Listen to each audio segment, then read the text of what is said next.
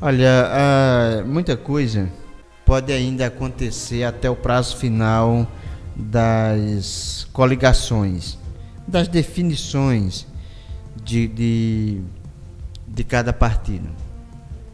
Logo após a, pronunciamento oficial do senador Armando Monteiro, pré-candidato pela Frente de Oposições Pernambuco vai mudar, de que o presidenciável Geraldo Alckmin do PSDB tem a garantia de espaço no seu palanque, o deputado federal Bruno Araújo, que é presidente do PSDB em Pernambuco, já voltou atrás da decisão anterior de que estaria saindo do bloco com a intenção de, se possível, o partido ter é, é, candidato próprio no Estado para garantir a, a palanque para Geraldo Alckmin.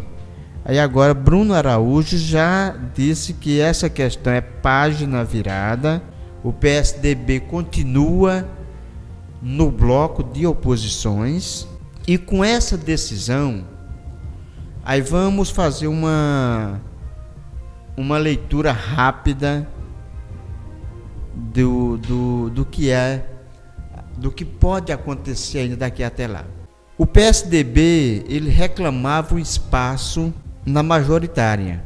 Com a chegada de novos aliados, evidentemente o PSDB estava ficando de fora dessa construção.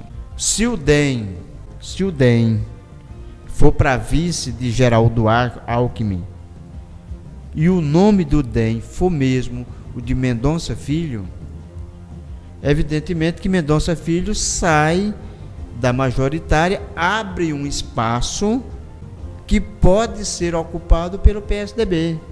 Ou o Bruno Araújo seria candidato a senador da República, ou o Bruno Araújo, ou então o ex-deputado Guilherme Coelho, seu candidato a vice-governador. Muita coisa então ainda vai acontecer.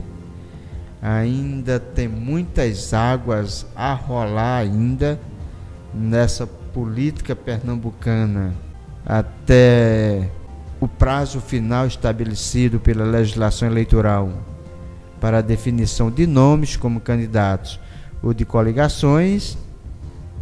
Então nós vamos aguardar aí o desfecho dos outros acontecimentos para sabermos o que ainda pode acontecer.